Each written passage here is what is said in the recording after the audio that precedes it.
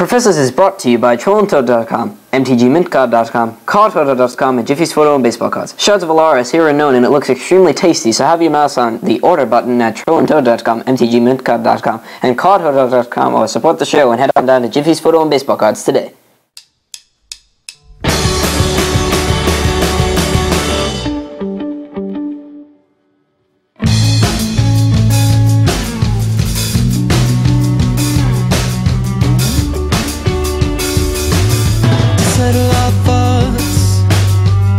Never mind what for. Nothing ever to dread.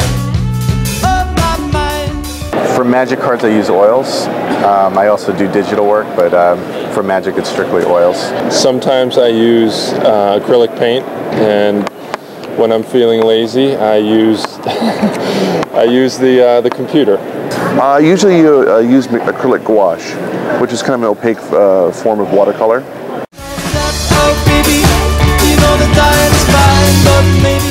I'm all for it. I mean, I've done a f- couple pieces uh, um, digitally. Uh, often, like you know, the convenience is that the fact that you can turn things in faster. Uh, you can modify them a little bit easier. Uh, disadvantages is, of course, you know, you don't have an original like um, piece of artwork to uh, to show or to sell, unless you have a, a big monitor that you you lug around with you. Really, I don't I don't see much difference in the two. It kind of uh, allows you to stretch your imagination even more because you can do all kinds of cinematic effects and um, and uh, you can even duplicate uh, traditional media, uh, mediums like oils and uh, acrylic and watercolor and anything really.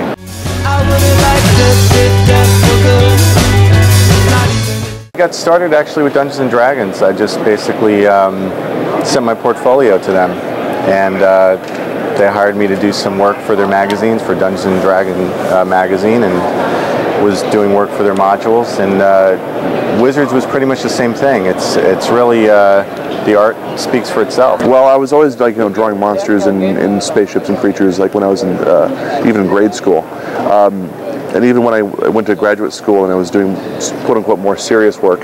Um, even in my sketchbook, there were still like you know. Uh, you know, a reference to Star Trek or, or something else, and the, the professors were always like, you know, what's this? It's like, oh, that's nothing. And um, and then later when I went to Seattle, uh, started to work for Wizards of the Coast.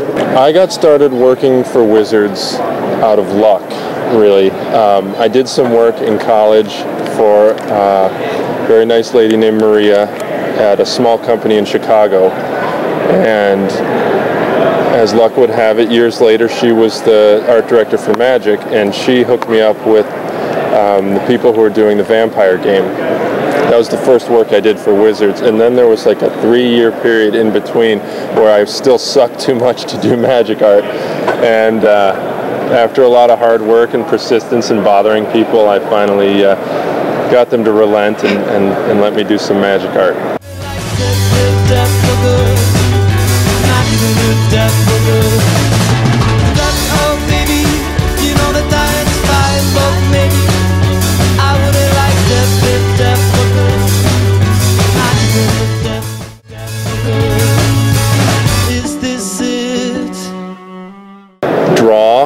A lot.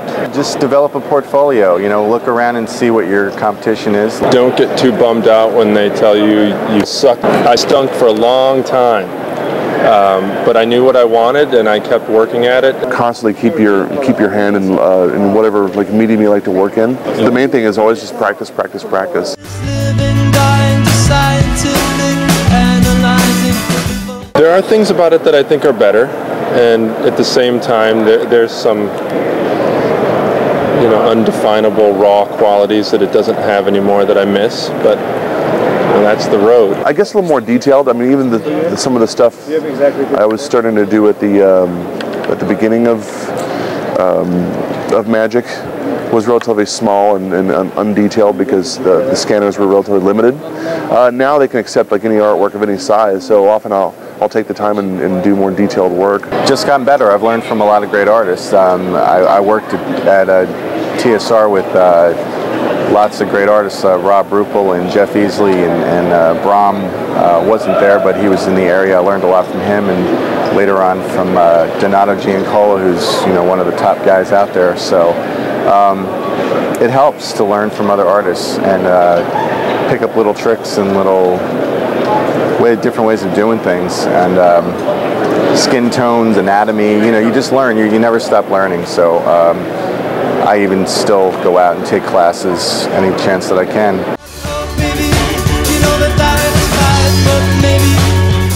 I used to be a Mindstab Thrull because it came out exactly the way I wanted it to. Um, but uh, Supreme is it Supreme Exemplar? I think it is. Um, is is one that uh, um, that came out pretty close to the way I like it. So I guess that's a recent favorite. Recently, I did uh, noggin whack, which was fun because there's a fish tied to a brick. I mean, I'm a big fisherman, so that was a lot of fun. But uh, no, you know, I like doing I like doing uh, creatures and monsters and dragons and things like that. So any any card that has uh, any of those elements in it are always fun for me. I don't have a favorite. Can't, I, I can't say. I can't say.